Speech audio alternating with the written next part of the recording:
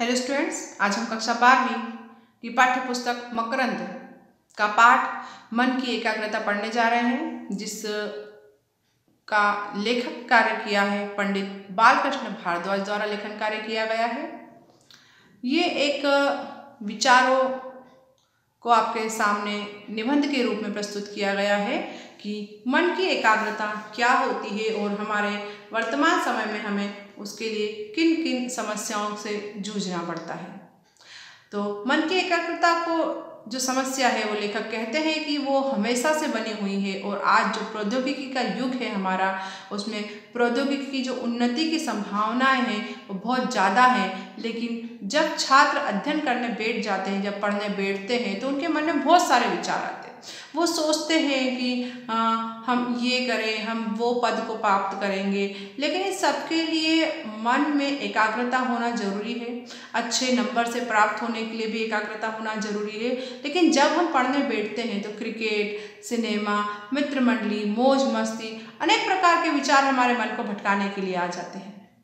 इन सब में जो विचलन बुद्धि की एकाग्रता को भंग करता है, ये जो बाहरी चीज़ें हमारे मन की एकाग्रता को जो भंग कर देती है, वो घबरा कर सोचता है कि परीक्षा, अरे परीक्षा की तो तिथि पास में आ गई एग्ज़ाम की डेट हमारी पास में आ गई है। मन घबराने लगता है, अब मैं क्या पढ़ूँ, कैसे पढ़ूँ, क्या करूँ? ये सारे विचार उसके मन को परेशान करने लगते हैं और मन और बुद्धि दोनों क्या होते हैं? चंचल हो जाते हैं। अब वो सोचता है कि परीक्षा में अनुत्तीर्ण हो गया तो सब कुछ नष्ट हो जाएगा। मतलब अगर परीक्षा में फेल हो गए तो हमारा पूरा जीवन बर्बाद हो जाएगा, सब कुछ नष्ट हो जाएगा और जो मान सम्मान और ये सब खत्म हो जाएगा और हमारा जीवन पूरा बोझ बन के रह जाएगा। बार बार वो निराशाओं से घिर जाता है और अपने मन की नियंत्रण को खो देता है और चिंताओं में डूब जाता है। अर्जुन की यह स्वीकारोक्ति है कि चंचल मन का निग्रह वायु की गति रोकने के समान दुष्कर है, उसे उचित प्रतीत होने लगता है। क्योंकि ये वाक्य अर्जुन ने ही कहा था कि मन इतना चंचल है, उसकी चंचलता को रोकना उतना ही मुश्किल है, जिस प्रकार से वायु को रोक लेना। ऐसे छात्र की दो समस्याएँ होती पहला, उसका मन भोग और ऐश्वर्य पाने के लिए उसको बार बार अपनी ओर खींचता है। दूसरा, पढ़ने के लिए उसकी बुद्धि को प्रेरित करता है कि तुम्हें पढ़ना है, बाहर की चकाचौंध की दुनिया की तरफ़ नहीं जाना है और अपने मन में उन विचारों को रखो और अपने मन को स्थिर करो। बाहर की सब परिस्थितियों से खुद को बचा लेना चाहिए आपको और आंतरिक मन को अपना नियंत्रण में कर लेना चाहिए और ऐसी स्थिति में मन को संयम में कर लेना चाहिए।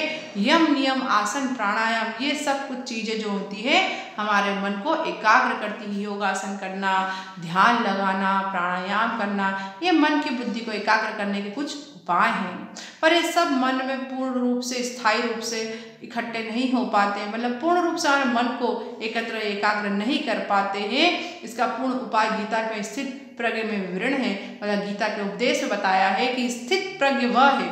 मतलब कि स्थिर बुद्धि जो विचलित नहीं होती है, जिसकी बुद्धि अस्थिर, चंचल या विचलित नहीं होती, वही स्थित प्रज्ञ इंद्रिय मन से संयमित बुद्धि का नाम होता है। मतलब जिसकी बुद्धि चंचल नहीं है, मन इधर उधर भटकता नहीं है, वही स्थिर प्रज्ञ है, यही हमारे गीता का ज्ञान है। स्थिर प्रज्ञ दर्शन में बुद्धि को स्थिरता के लिए ऐसा आवश्यक माना है कि मन के जो विषय हमारे जो बाहर के विषय जो उनको आकर्षित करते हैं, वो हमें क्यों आकर्षित करते हैं? क्योंकि हमारी इंद्रियाँ उसके भोग से सुख लेती हैं, इसलिए हमें उनसे दूर रहना चाहिए। मन इंद्रियों से दूर तभी रह सकता है जब उसमें रहने वाली सारी कामनाएँ, कामना मतलब इच्छाएँ खत्म हो जाएँगी। पर कामनाओं का अभाव तभी संभव है जब व्यक्ति वस्तुओं के बिना संतुष्ट रहना सीखेगा। क्योंकि वही तो बौद्ध का भी, बौद्ध धर्म का भी ज्ञान है, चाहे जैन धर्म का ज्ञान हो चाहे गीता के उपदेश हो, सभी में यही किया है कि व्यक्ति को जब संतुष्टि हो जाती है, उसकी आत्मा को संतुष्टि हो जाती है वह अपने आप को संयमित कर लेता है, उसकी आवश्यकताएँ जब कम हो जाती है तो उसकी बुद्धि स्थिर हो जाती है, क्योंकि उसकी इंद्रियाँ उसके वश में आ जाती हैं। और समस्या यह है कि इंद्रियों के विषय में बलपूर्वक हठयोग के द्वारा तो दूर भी कर ले तो भी विषय का चिंतन नहीं छूटता है। क्योंकि तो आप आँखों को बंद कर लो, नींद ना आने पर ना सो, आप किसी चीज़ को ना करो। लेकिन ये आप ज़बरदस्ती आप इंद्रियों के साथ कर सकते हैं। इंद्रियाँ वही हैं, हमारे जो पाँच इंद्रियाँ होती है, आँख कान, नाक जीवा हमारी त्वचा, ये सब हमारी इंद्रियाँ हैं। इनको हम भले ही दुख दे दें, इनको आराम भले ही ना दें, हम जिद के कारण, लेकिन जो मन और बुद्धि के विचार हैं, वो हमसे रुक पाते नहीं है। जैसे ग्रीष्म ऋतु में ताप से पृथ्वी पर वनस्पतियाँ सूख जाती है, वर्षा में जल पाकर फिर पल्लवित हो जाती है। इसी प्रकार से विषयों के बलपूर्वक हटाए गए सूक्ष्म इंद्रिया विषय चिंतन में जल्दी से चली जाती है। मगर आप अपनी इच्छा से नहीं इंद्रियों को संयमित करोगे, ज़बरदस्ती अगर इंद्रियों को संयमित करोगे तो बहुत जल्दी बुरी चीज़ों में लग जाती है। इसलिए आपको इंद्रियों को संयमित करने के लिए प्राणायाम करना चाहिए। खुद से इच्छा से अपनी इंद्रियों को वश में करना चाहिए। मन दो प्रकार से उत्तेजित होता है मतलब कि परेशान होता है। बाहर के विषयों और भीतर की वासनाओं में स्मृति में जब अंतर आ जाता है, अतः जब वासना विषय का संस्कार नष्ट नहीं किया जा सकता है यद्यपि बाह्य प्राणायादि कुछ सहायक हैं, पर पूरी तरह से विषय का निस्सार नहीं करते हैं। मतलब हमें पता है कि बाहर की जो मोहित करने वाली चीज़ें हैं, वो हमारे लिए गलत हैं, लेकिन फिर भी हम उसको पूरी तरह से मना नहीं कर पाते हैं और इस प्रकार से परम दृष्टवा निवर्तते का अर्थ होता है कि मन को किसी पर अर्थात परम उच्च लक्ष्य पर लगाना होगा, जैसे कि सेवा का कार्य करना है, लोक संग्रह में राष्ट्र भक्ति में, दीन दरिद्रों की सेवा करना, ऐसे कामों में लगाने पर हमारा मन शांत होता है और हम अपने ऊपर के ऊपर, इंद्रियों पर संयम भी पा सकते हैं और हमारे विषयों में आसक्ति खत्म होती है। विषयों में आसक्ति का मतलब कि आपको ठंड लगे तो गर्माहट चाहिए, गर्मी लगे तो ठंडक चाहिए, यही सब विषय में आसक्ति होती है। गीता में परम का अर्थ परमात्मा कहा है, यही उन्होंने परिभाषित करते हुए गीता क्या बोलती है? कि सब विश्व ईश्वर है, पूरी दुनिया क्या है? ईश्वर है और वासुदेव सर्वम है। मतलब वासुदेव भगवान श्री कृष्ण सभी और है और मुझ ईश्वर को सब विश्व में व्याप्त जानो और मुझमें संपूर्ण विश्व को जानो। श्री कृष्ण कहते हैं, वासुदेव, कि मैं ही पूरे विश्व में फैला हुआ हूँ और पूरा विश्व मेरे अंदर समाया हुआ है। अर्थात ईश्वर और विश्व दोनों एक दूसरे से अलग नहीं है।